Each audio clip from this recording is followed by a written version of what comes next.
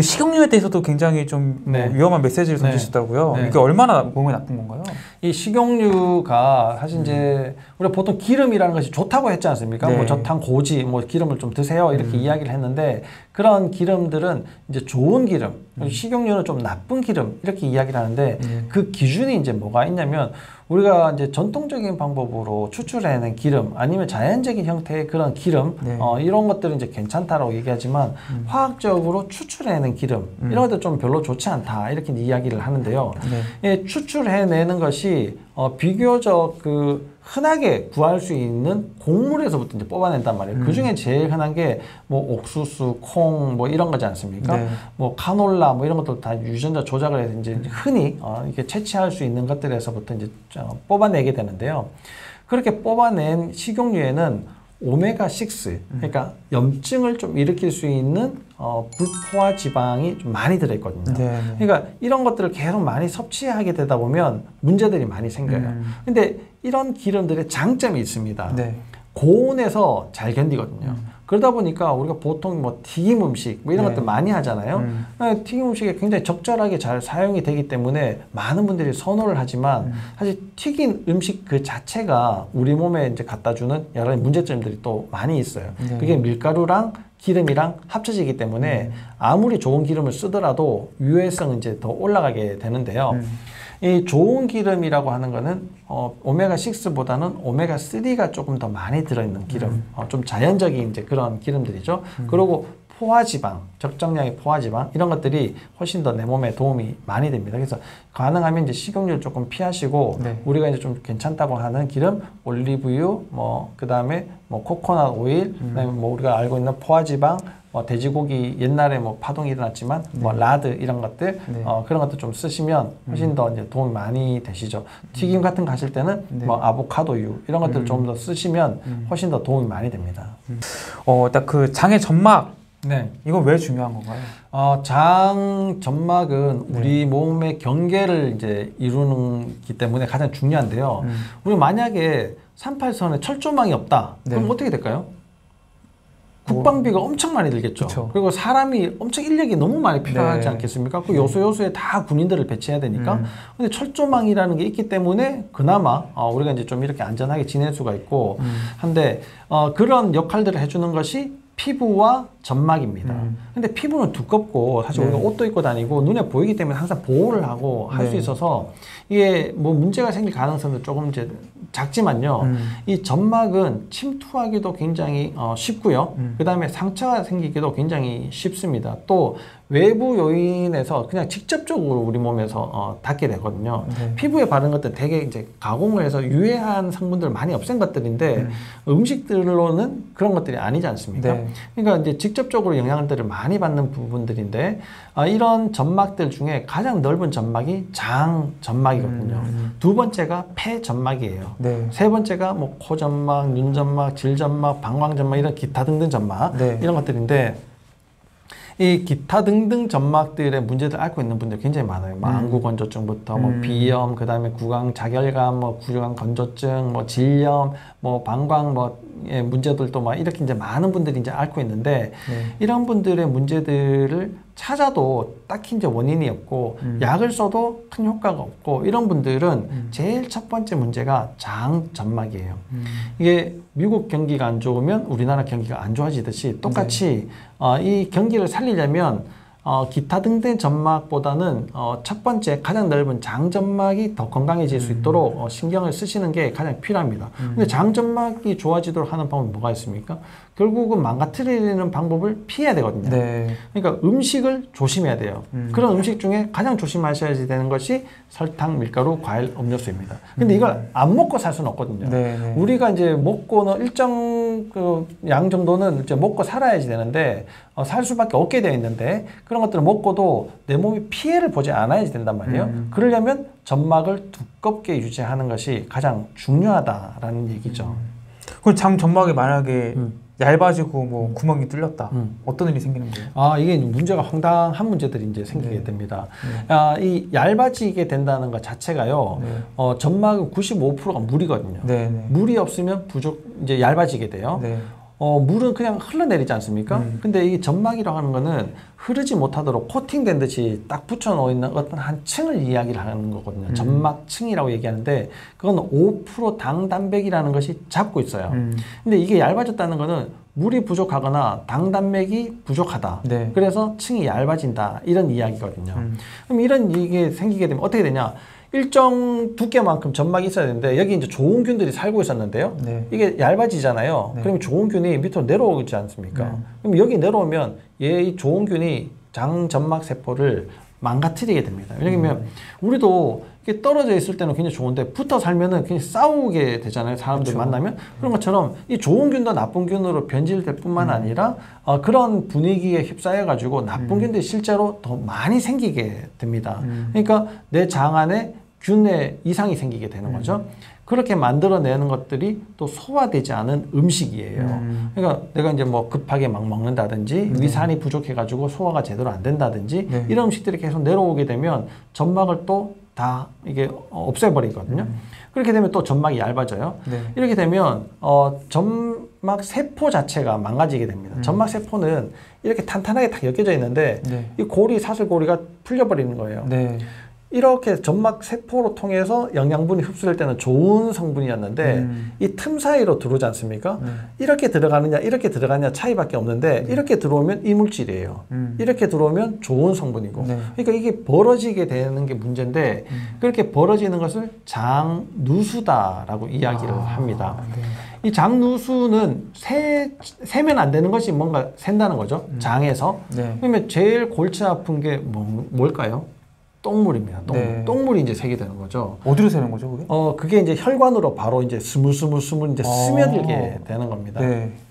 그러면 어, 가장 깨끗해야 되는 게 혈, 혈액인데요. 네. 어, 거기에 이상한 것들이 이제 계속 쌓이게 되는 거죠. 네. 그걸 우리 몸이 가만히 지켜보고 있겠습니까? 어떻게든 막으려고 그쵸. 하겠죠. 그게 이제 면역 세포들이 계속 작용을 하는 겁니다. 음. 그런 작용들을 계속 하면서 만들어지는 부산물들이 만성 염증이에요. 그래서 만성염증은 대부분이 장에서부터 시작이 됩니다. 그래서 장 상태가 별로 좋지 않다. 음. 그러면 나는 만성염증이 많고 아, 이런 상태가 오래 지속되면 뭔가에 문제가 생기겠구나. 이렇게 생각하셔야지 어, 되는 거죠. 음.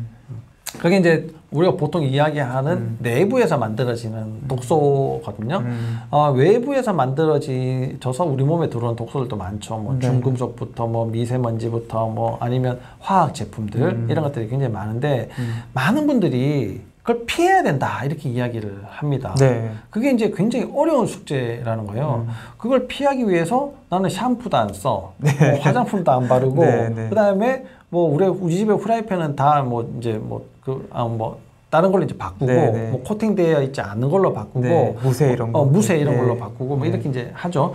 그리고 밖에 나가면 항상 이제 마스크 쓰고 막 네. 이렇게 이제 다니시는데 그렇게 해서 얼마만큼 살 수가 있냐는 겁니다. 이게 어, 어느 정도의 유해성 검증은 이제 했잖아요. 음. 했으면 했음에도 불구하고 문제들이 내 몸으로 들어올 수가 있어요. 음. 들어오는데 내 몸의 방어막 자체가 잘 되어 있다. 예를 들어서 공기 중에 들어있는 미세먼지, 점막이 두꺼우면 음. 방어할 수가 있다는 거예요. 내가 음식으로 들어오는 농약 네. 묻어 있는 거, 그 다음에 뭐 이게 내가 뭐 이게 섭취한 여러 가지 것들로 들어올 수 있는 거, 이런 것들도 장 점막이 두꺼우면 괜찮다는 겁니다. 음. 그럼에도 불구하고 또 들어올 수 있는 것들이 있거든요. 뭐 피부로도 들어올 수 있고, 뭐 점막, 눈 점막으로 들어올 수 있고 여러 가지로 들어올 수 있는데 그런 것들을 내 몸은 항상 처리를 해서 버려내게 돼요. 음. 근데 버렸는데 장이 시원찮으면 그게 다시 재흡수가 되거든요. 이 재흡수를 또 다시 막아야지 됩니다. 음. 그러려면 장 점막이 두꺼우면 돼요. 네. 우리가 이제 해야지 되는 거는 내 장 점막이 두꺼운 상태가 계속 유지되도록 네. 또 혹시 망가졌다면 빨리 회복시킬 수 있도록 네. 하는 노력이 필요한 것이지 음. 모든 것을 다 피해서 도망 다닌다 는 거는 불가능하다는 겁니다. 음. 아, 많은 분들이 자꾸 불가능에 도전하도록 몰아세우고 있어요. 네. 그거는 너무 이제 어려운 이 현대 사회를 살아가기가 어렵다는 겁니다. 지금도 이렇게 이제 핸드폰으로 촬영하고 있지만 네. 이게 촬영하 촬영뿐만 아니라 우리가 뭐 여러 가지 정보들을 다 핸드폰으로 얻지 않습니까? 네. 컴퓨터가 만약에 없다. 네. 그럼 어떻게 되겠습니까? 아, 뭐 진짜 바보가 그쵸, 됐잖아요. 그쵸, 예. 그런 세상을 살아갈 수 없는 것처럼 음. 우리가 뭐 플라스틱도 안 쓰고 뭐 이게 뭐 그릇을 좀 하고 음. 뭐 맨날 농약 걱정을 하고 뭐 이런 여러 가지 걱정들도 좋기는 음. 하지만 내가 조심을 해야지 된다는 차원에서 거쳐야지 이거를 철저하게 뭔가를 해야지 되겠다라고 생각하는 그 자체가 음. 내 몸이 점점 점점 더 힘들어져 가도록 만드는 거다 이렇게 또 생각을 해볼 수 있어요. 이제 유방암 전문의로 이제 활발히 활동하시니까 제가 네. 유방에 대해서 한번 여쭤볼게요. 네. 일단은 뭐 유방암 때문에 오시는 분들이 가장 많지는 않죠. 아, 네. 네. 유방암은 아니고요. 유방 질환 자체, 뭐 유방이 아파요, 뭐 음. 유방에 혹이 만져지는 것 같아요, 뭐 음. 유방이 저번에 검사했는데 다시 한번 더 검사를 해야 되겠어요. 이런 네. 분들이 제일 많죠. 그러면 그렇게 검사를 하면은 가장 많은 질환은 어떤 거예요? 제일 많은 거는 사실 유방통입니다. 아픈 거죠? 네, 네, 아픈 건데 음. 막 진짜 아 아프다 이런 게 아니고요. 찌릿찌릿해요. 뭐 음. 이게 뭐 어떤 분들은 뭐 좀 부어 있는 것 같아요. 네, 네. 뭐 어떤 분들은 뭐 그냥 뭐 간질간질해요. 따끔따끔거려요. 네. 그것도 계속 있는 게 아니라 가끔 그래요. 음. 이런 분들이 제일 흔하게 있는 분들입니다. 그럼 원인이 그건 뭐예요? 어, 제일 80%가 네. 호르몬 때문이고요. 음. 20%가 척추 측만 때문에 그렇습니다. 음. 이 80%의 호르몬 문제는 네. 어, 여러 가지 호르몬들 중에 에스트로겐이라는 호르몬이 제일 영향을 많이 줘요. 네, 네. 어, 이 호르몬들은 어, 다 쓰고 나면 장으로 버려지거든요. 음. 그래서 결국 그 궁극적으로는 이 에스트로겐 호르몬을 조절을 해야지 되는데 음. 내가 호르몬 자체를 조절할 수는 없거든요. 네. 그러다 보니까 버려지어서 재흡수되는 그 상태를 막아내는 것이 가장 중요합니다. 그러려면 장 점막이 좋아야 되거든요. 음. 장 점막을 좋게 만들려면 음식을 어, 내가 조심을 해야지 되는 게 내가 해야 될 일인 거죠. 음. 20% 척추 측만은 일자목이나 거북목 음. 또는 골반이 틀어졌을 때 동반되는 증상이에요. 음. 그러니까 내가 가장 조심해야 될 거는 자세를 삐딱하게 하는 네, 거 네. 이런 것들을 좀 이제 피해야지 되는 거죠. 그러면 내가 유방에 생긴 여러 가지 증상들을 위해서 네. 내가 해야지 될 거, 음. 뭐 병원 가서 검사해 보면 다 여러 가지 있겠지만 음. 내가 해야지 될 거는 음식을 좀 바꿔 먹고 음. 자세를 좀 똑바로 하고 음. 이게 이제 가장 중요하다는 얘기입니다. 그럼 뭐 예를 들어서 뭐 척추 침막 때문에 그 통증이 생겼다 하면은 음.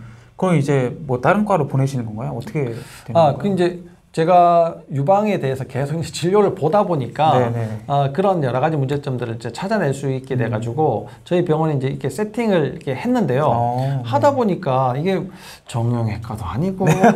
유방외과도 아니고 뭐 하여튼 이상한 형태가 이제 되긴 했는데 네. 그래도 이제 전 나름대로 이제 환자분들한테 네. 뭔가를 해드릴 수 있어서 어, 자부심은 느끼고 음, 있습니다. 음. 그럼 이제 그런 이제 유방 관련 통증으로 오시는 분들에서 발견되는 뭐 공통적인 생활 습관 이런 것도 있나요?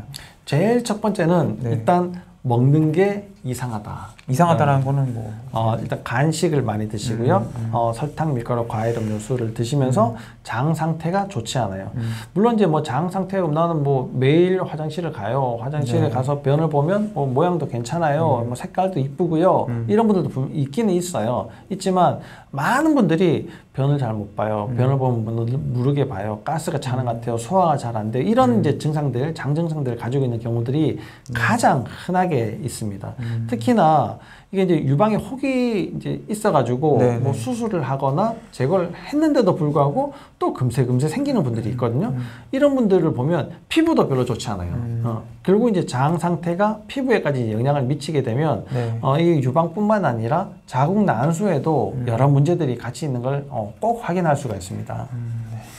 그 브레지어하고 유방암의 관계에 대해서 한번 여쭤보고 싶어요. 네. 어떤 관련이 있는? 이게 이제 브레지어 유방암의 어, 문제들은 여러 가지 논란들이 굉장히 사실 좀 많이 있기는 합니다. 네. 왜냐하면 이게 명확한 상관관계를 누구는 있다가 하는데 음. 누구는 별로 없다라고 이야기를 하기 때문에 네. 그렇고요. 또 이 브레지어가 그러면 문제가 있다 그래가지고 여성들한테 착용하지 않도록 이게 권장을 해야 될 건가에 음. 대해서 문제들이 많기 때문에 네. 이제 함부로 이야기하기가 사실 조금 어렵긴 한데 네. 그래도 내가 이제 걱정이 된다면 조심해야 될 필요는 있죠. 음. 야, 얘야, 너 여기 어, 밖에 나가면 항상 차 조심해라. 네. 교통사고 오늘 날 거기 때문에 조심하라 합니까? 아니죠. 잖아요 네. 음. 혹시 모르기 때문에 이제 그렇게 이야기를 하는 것처럼 브레지어도 좀 조심을 해야 되는데 음. 어떤 측면에서 조심을 해야지 되느냐? 아까 이제 유방에 문제가 생기는 거에 20%가 척추 측만과 관련이 있다라고 말씀드렸는데요. 네. 20%의 척추 측만에 문제가 생기는 것은 혈액 순환을 나쁘게 만들기 때문에 음. 그렇습니다. 음. 그러면 혈액 순환을 나쁘게 만 드는 것과 마찬가지로 우리가 이제 림프의 순환도 같이 이제 영향을 줄 수가 있는 게 바로 브래지어를 꽉 쪼매는 게 어, 이제 문제가 되는 거죠. 이 와이어 브라, 원더 네. 브라 요즘 또 이제 뭐 가슴을 크게 성형하시는 분들도 많지만 네. 가슴을 이제 모아서 가슴골이 이제 예쁘게 보이도록 음. 하는 것이 또 여성분들한테 굉장히 이제 이게 좀 매력적이고 어필이 이제 되는 부분인데요. 네. 그런 것들을 만들기 위해서 이제 브라를 좀더 어, 강하게 착용을 하시는 음. 분들이 많이 있으시단 말이에요. 어, 그러면 이제 혈액 순환이 일단 나빠지게 되고 그 다음에 림프 순환도 음. 나빠지게 되는데 문제는 거기에서 끝나지 않고요. 음. 그 등으로 매는 그 이제 문제가 있습니다. 음. 이 내가 여기에서 쪼는 문제도 있지만 등으로 이제 끈을 매지 않습니까? 네. 거기에서 눌리는 그 부위가 바로 어, 소화를 소화에 영향을 주는 고 이제 자율신경이 작용하는 그 부위예요. 음. 거기가 이제 꽉 조이게 되면 어, 일단 첫 번째로 소화에 장애를 일으킬 가능성들이 첫 번째 많고요. 네. 또두 번째는 갈비뼈를 지나서 묶지 않습니까? 네, 네. 그러니까 이 근육의 움직임 자체가 잘 안 되다 보니까 음. 호흡이 이렇게 퍼져야 되는데 그래야 호흡이 되는 거죠. 네. 이게 잘 안 될 가능성들이 있어요. 그러면 음. 산소의 활용도가 떨어지게 되고 소화에 문제가 생기면서 아까 이제 80% 호르몬이 장 문제와 관련된다 했는데 음. 어, 거기에도 영향을 주게 되고 또 순환 자체도 나쁘게 만드니까 이게 20%의 영향을 준다라고 이야기는 했지만 네. 사실 전반적으로 다 문제들을 일으키는 것과 브리저는 관련이 많이 있을 수 있다라는 겁니다. 그러니까 아까 말씀하셨던 이제 그 혈액과 혈관에 있어서도 이 음. 브레이즈가 너무 이제 꽉 조이면은 네. 그 피의 흐름을 방해하게 되니까 네. 그 질병의 원인이 될 수도 있겠네요. 네, 질병의 원인이 되죠. 그러니까 뭐 피의 흐름 자체를 완전히 뭐 차단을 한다기보다도 네, 네. 줄인다는 거죠. 음, 어, 네. 림프 순환도 줄인다는 거고요. 음, 음, 네. 끝으로 성장일기 구독자분들에게 하고 싶은 말씀 있으시죠? 네. 아, 성장일기 어, 구독자 여러분, 뭐 이렇게 긴 내용들을 어, 들으신다고 고생을 많이 하셨는데요. 이제 많은 이야기들을 이제 들려드리고 싶은데 어, 그런 많은 이야기들이 여러분들이 어떻게 보면 좀 어디에선가 듣지 못한 부분들이 있어서 이해하기가 조금 어려운 내용일 수도 있기는 합니다만 아, 가만히 생각해 보면 여기저기에서 들었던 여러 가지 이야기들을 조합을 잘 해보시면 내가 이게 이 이야기들을 이해하실 수가 있을 거라고 생각을 합니다. 이 성장은 어, 내가 정신적인 성장뿐만 아니라 어, 또 정신적인 성장이 잘 되려면 몸의 성장, 몸의 회복 이런 것들이 잘 되어야지만 여러분들이 원하는 결과들을 또 성공의 결과들을 얻어내실 수 있을 거라고 생각을 합니다. 그래서 오늘을 계기로 아, 내 몸 전반적으로 한 번 더 생각해 보시는 그런 어, 좋은 시간이 되었으면 감사드리겠습니다. 네, 그래서 오늘은 이제 유방치료의 저자 김준영 원장님 모시고 이야기 나눠봤습니다. 오늘 좋은 말씀 감사하고요. 영상 봐주신 구독자분들도 고맙습니다. 감사합니다. 감사합니다.